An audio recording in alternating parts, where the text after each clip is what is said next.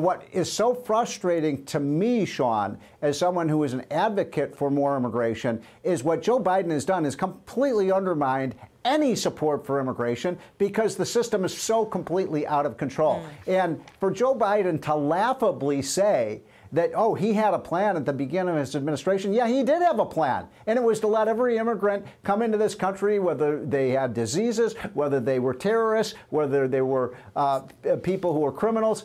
And this is so undermined. Americans are so angry about this that it's it really. You know, over it basically clouds over the benefits that people who come here, Sean, uh, legally the way it's supposed to be, and it's going to take years, maybe decades, to undo this damage that uh, that Joe Biden has done to our immigration system.